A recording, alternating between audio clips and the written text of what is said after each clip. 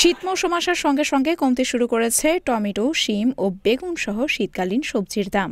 গত সপ্তাহের তুলনায় কিছুটা দাম কমে আসায় একদিকে যেমন স্বস্তির নিঃশ্বাস ফেলেছেন সাধারণ মানুষ, অন্যদিকে বেচা কেনা বাড়ায় খুশি খুচরা বিক্রেতারাও। শুক্রবার সকালে রাজধানীর বাড্ডা এলাকার একাধিক বাজার ঘুরে এমন চিত্র দেখা গেছে।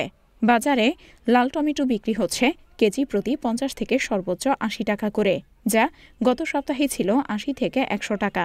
সবুজ শিম কেজি প্রতি বিক্রি হচ্ছে ত্রিশ টাকা, যা গত সপ্তাহে ছিল চল্লিশ টাকা।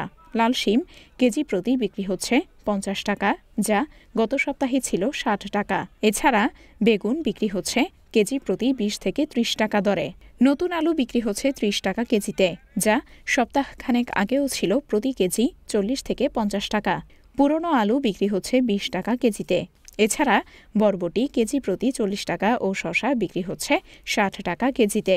কাঁচামরিচ পঞ্চাশ টাকা, মূলা বিশ টাকা ও গাজর ষাট টাকায় বিক্রি হচ্ছে।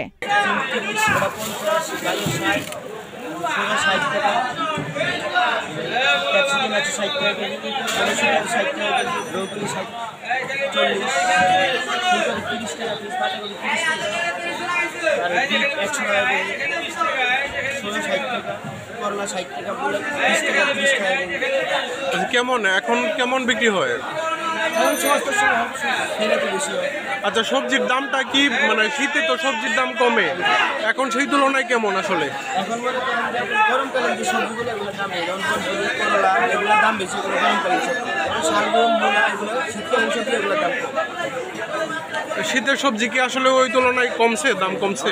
টমেটো কোনটা কত? সব আশি টাকা। দাম কি কমছে কিছুটা নাকি না?